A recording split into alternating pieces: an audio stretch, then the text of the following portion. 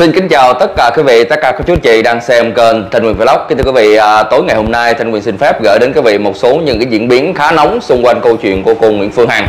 Sau khi mà doanh nhân Huỳnh Đi Dũng đã tuyên bố rằng à, sẽ có những cái cuộc chiến pháp lý sắp tới đây đối với một số những cái cá nhân à, đã đánh phá vào doanh nghiệp cũng như là xúc phạm vu khống bản thân ông cũng như là vợ ông và đặc biệt thì trong đó có những cái tên vô cùng quen thuộc như là đình Lan Hoàng Di Hùng vân vân. Thì à, ngay lập tức chúng ta thấy rằng là hai nhân vật này đã có những cái sự đáp trả vô cùng mạnh mẽ. Đặc biệt thì Đinh Lan đó à, đã tuyên bố rằng mình sẽ làm đơn để mà tố cáo ông Huỳnh Y Dũng à, về cái tội gọi là âm mưu lật đổ chính quyền luôn. Trời ơi tôi thấy cô chú anh chị à, không có ai mà lớn gan lớn mặt giống như Đinh Lan. Tôi không biết là Đinh Lan có dám làm cái lá đơn này thật hay là không à, nhưng mà nếu mà Đinh Lan thật sự dám đó cô chú anh chị thì cái câu chuyện này có lẽ rằng càng ngày lại càng diễn biến hay. Bên cạnh đó thì Hoàng Di Hùng đó thì à, mới đây cũng có một video clip đó là tuyên bố rằng đó à, thách thức bà Nguyễn Phương Hằng đi kiện và bản thân ông ta sẽ tuyên bố rằng sẽ phản tố có nghĩa rằng sẽ kiện ngược lại. À, về câu chuyện này thì à, đối với bà Nguyễn Phương Hằng và ông Huỳnh Đi Dũng ừ, đã có những cái phản ứng gì? Sau khi à, có những cái thông tin này trước tiên thì Thanh Quyền xin được mời quý vị chúng ta cùng xem những cái hình ảnh mới nhất bà Nguyễn Phương Hằng và ông Huỳnh Đi Dũng bất ngờ xuất hiện tại một cái trung tâm mua sắm.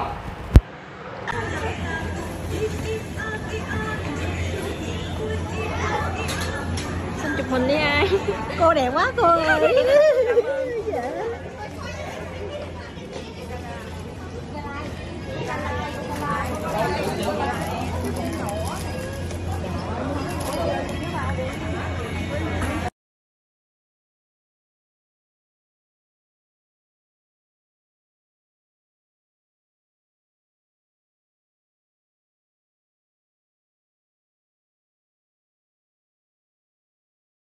Vâng kính thưa quý vị thì à, những cái hình ảnh vừa qua à, vô tình thôi được à, các nhân viên và các à, gọi là quý khách ở đó à, họ gọi là họ quay phim và chụp hình lại. À, thì chúng ta thấy rằng à, đi đến đâu đi chăng nữa thì bà Nguyễn Phương Hằng ông Huỳnh Đi Dũng vẫn được nhiều người yêu mến và chào đón.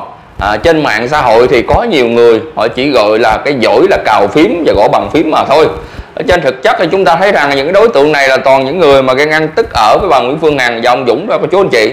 Ừ. ngoài đời đó thì chúng ta thấy rằng là cái sự vô cùng thân thiện à, của bà Hằng cũng như ông Dũng đối với tất cả mọi người. À, và cái điều đó đi đến đâu đó thì cô Hằng chú Dũng cũng được rất nhiều người yêu mến và chào đón. Với động thái vô cùng dững dưng với tất cả những cái nguồn thông tin à, thậm chí là không thèm quan tâm họ đang nói gì và bàn gì chỉ tập trung vào cái câu chuyện liên quan đến pháp lý đối với từng cá nhân một như lời tuyên bố của ông Huỳnh Thị Dũng đã à, chia sẻ trong buổi tối ngày hôm qua. Và bản thân cô Hằng thì cũng đã nói rồi cô sẽ không xuất hiện trên mạng xã hội nữa.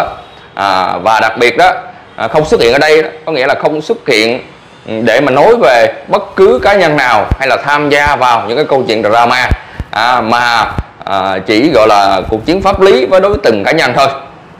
Mới đây đó thì à, Đinh Lan Đinh Lan đã có một video clip dài khoảng hơn một tiếng đồng hồ với những cái nội dung nói chung là cực kỳ ghê gớm mà mình không muốn phát tán ở đây cô chú anh chị. Mình cũng không muốn chia sẻ những cái lời nói mà nó kinh dị của Đinh Lan. Với cái những cái ngôn từ của ông Đinh Lan thì cô chú anh chị cũng đã thấm nhuần cũng đã hiểu được à, trong những năm vừa qua mấy năm trời vừa qua Đinh Lan là nó ngông cuồng đến mức mức độ nào rồi.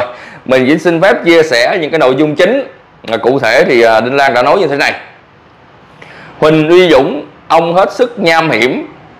À, đêm qua ông thay vợ ông lên mạng livestream để tuyên truyền thông tin đe dọa là tố cáo tôi Đinh Thị Lan khiến cho 11 kênh youtuber tay sai của vợ chồng ông tấn công đe dọa tôi từ đêm hôm qua cho đến bây giờ.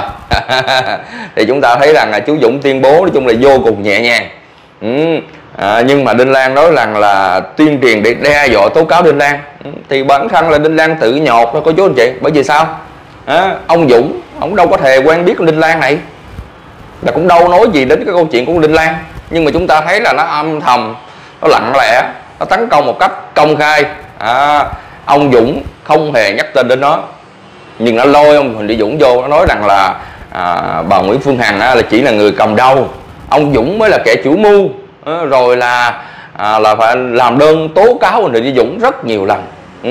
nó gọi tên ông Dũng suốt mấy năm trời qua mặc dù là quý vị biết rằng là chú Dũng đâu có thời gian rảnh đâu mà lên mạng xã hội. Và thậm chí chú cũng không muốn lên mạng xã hội. À, kể cả cái tài khoản Facebook thì ông ấy cũng đã nhờ người gỡ bỏ rất là nhiều cái tên giả mạo ông ấy. Ừ. nhưng mà đến cái thời điểm mà gỡ đến hết nổi rồi thì ông ấy bỏ mặt phó thác à, mặc kệ. Và ông đã từng tuyên bố rằng ông không có một tài khoản nào trên tài khoản Facebook. Ừ, kể cả các tài khoản mạng xã hội khác.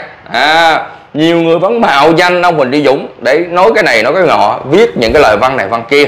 Bản thân rằng thám tử cao thì cũng đã từng đưa ra à, những cái kết luận xung quanh những cái tài khoản này. Nó còn khẳng định rằng là ông Huỳnh Đi Dũng đã viết và nói rằng ông Dũng là cấu kết cho phản động. Nhưng mà sau đó thì sao? Nó phải lên đính chính nó phải xin lỗi ông Huỳnh Đi Dũng. Bởi vì à, nó thừa biết rằng đó là những cái nội dung bịa đặt giả danh ông Dũng để làm ra những cái câu chuyện này cho quý vị ừ. thì à, Đinh Lan á à, nói rằng là um, con vợ của mình à, bị cấm sống không có người cầm đầu thì ông lại ra mặt kích động thù hận để bọn youtuber nghe ông để tấn công tôi ừ. việc vợ của ông à, đã gây mâu thuẫn trên mạng xã hội suốt 3 năm không phải ông là không biết à, cho nên ông muốn tẩy trắng cho vợ mình nên lên mạng đe dọa tố cáo à, 28 youtuber trong đó có tôi. Ông đi tố cáo tôi đi. À, ông Huỳnh Đi Dũng xem tôi phản tố thì bộ công an không còng đầu ông không? Ừ. danh nhân gì cái loại vô ơn với đất nước? Như ông hả Huỳnh Đi Dũng một mình ông được giao 10% quỹ đất của toàn tỉnh Bình Dương tương đương 10.000 ha. Mỗi năm đóng thuế 1.200 tỷ nhưng cho thuê lại đó là mỗi uh, mét vuông từ 100 đến 250 đô. Thì nó nói rằng là à, liên quan đến cái vấn đề đất đai của ông Dũng nữa. Đây cô chú anh chị. Ừ, thì mình rất là thích ừ, cái câu chuyện mà Đinh Lan này cứ tiếp tục lên phản tố cái câu chuyện của ông Dũng. Cứ nói về ông Dũng đi nói về Đại Nam nói về đất đai của ông ấy đi. Cái việc mà chúng ta thấy rằng à, là ông ấy gọi là là cho thuê tiền đất ừ, cho thuê đất đối với người khác. Ừ, hay là cho thuê bất cứ cái gì cả. Đó là cái câu chuyện mà người ta kinh doanh. Được giá thì mình thuê, không được giá thì thôi. Đâu có ai bắt ép đâu. Nhưng mà Đinh Lan nói rằng là ừ, một mình mỗi năm đóng thuế 1.200 tỷ, nhưng mà cho thuê là mỗi mét 100 đến 250 đô. Đã vậy giữ 450 ha đất khu du lịch là chỗ tư nhân, nhưng lại tổ chức livestream chống phá chính quyền Việt Nam. Đó, những cái cụm từ này thì mình nghe đó mình rất là khoái. Chị Lan cứ gọi là cứ tiếp tục. À, cái cái gọi là cái khả năng này ha chị Lan ha. Cứ tiếp tục những cái khả năng này đi khả năng này đi. Ừ. luật sư của bà Hằng không ít đâu. À, cũng như là của ông Dũng đó bây giờ người ta lại chính thức gọi là điểm danh điểm mặt từng đối tượng hết trơn rồi. Đinh Lan cứ tự tin và thoải mái. Cứ tiếp tục cứ phản tố đi. Tôi thách con Đinh Lan này. Nếu như mà kiện ông Huỳnh Lý Dũng à, tôi gọi là ủng hộ luôn ủng hộ Đinh Lan làm điều này. Tại sao cô chú anh chị? Tại sao? Chúng ta thấy rồi những cái lá đơn của Đinh Lan đó bản thân mình cũng là chính là người bị Đinh Lan kiện. Ừ. và thậm chí Đinh Lan làm đơn tố cáo đến khắp nơi. Năm mươi mấy kênh YouTube. Thậm chí là gì? À, cầu cứu đến bộ công an cầu cứu đến chủ tịch nước cầu cứu đến tổng bí thư rất nhiều thứ. Nhưng mà cô chú anh chị hiểu rồi những cái lá đơn của nó vô cùng xàm xí và đa số là vu khống bị đặt người ta ừ. lần này đó thì nó nói chỉ mình nghĩ rằng đánh giá là nó cái mõm nó thôi không bao giờ nó dám cô chú anh chị. Ừ. đặc biệt là đối diện với ông Huỳnh Đi Dũng tại cơ quan chức năng thì nó lại càng không dám. Ừ. mình thách đố nó trăm ngàn lần để nó ra à, gọi là cùng đối chất tại đồ công an. Nó cũng không giờ nó dám. Tại công an gọi dấp luôn. Ừ, đi tố cáo người ta đi du khống người ta. À, nhưng mà à, tới lúc mời lên đó, để làm việc đó, thì nó trốn. Nó trốn nó tránh chú anh chị. Ừ. thì lần này đó ông Dũng đã ra tay rồi. À, thì bản thân Đinh Lan này lại tiếp tục lên đe dọa và buông ra những cái lời vu khống bịa đặt một cách vô cùng trắng trợn. Ừ. Nên nhớ nè Huỳnh Đi Dũng khu du lịch Đại Nam à, đã ế gì do vợ của ông đã à, tấn công thầy Minh Tuệ. Ừ. danh sách 11 kênh YouTube tấn công Đinh Lan theo lời kêu gọi của ông Huỳnh Đi Dũng chủ mưu. Ừ do vậy, ông khôn hồn công cái mồm lại và yêu cầu các youtuber dừng tấn công lại. Thôi người đi tù sắp tới, chính là ông Huỳnh Đi Dũng và bà Nguyễn Phương hằng. À đe dọa luôn. Đe dọa luôn, ông Dũng là sẽ đưa ông Dũng đi tù luôn nha cô chú anh chị. Trời ơi, tôi thấy rằng là Đinh Lan là một cái nhân vật có thể nói là không ngại mồm, không ngại mồm, không ngại mồm mép và tấn công người khác liên tục. Ở đây chúng ta nhìn nhận rất là rõ, ông Huỳnh Chí Dũng tuyên bố rất rõ ràng, những ai tấn công vào doanh nghiệp không chỉ là khu du lịch Đại Nam đó, mà cả như là công ty cổ phần Đại Nam rồi cho đến là quỹ từ thiện hàng hữu à, những cái vấn đề mà liên quan đến cái công ty doanh nghiệp của người khác à, thì à, kể cả là khu du lịch ừ, tôi có chú chị ừ, nói rằng là ừ, Đại Nam như thế này như kia à, nói là khu du lịch à, là là để gọi là trục lợi về cái vấn đề tâm linh ừ. rồi đó cho đến đó, là quỹ từ thiện mở ra để trốn thuế nè. Đó là những cái chi tiết à, mà đã vô cùng rõ ràng. Đó là cái việc mà họ bịa đặt ra để đánh phá vào doanh nghiệp. Không thể nào chối cãi được của chú anh chị. Không thể nào chối cãi. Và cái việc này thì chúng ta đã thấy rằng là bản thân hàng ly là một tấm gương sáng dành cho tất cả mọi người.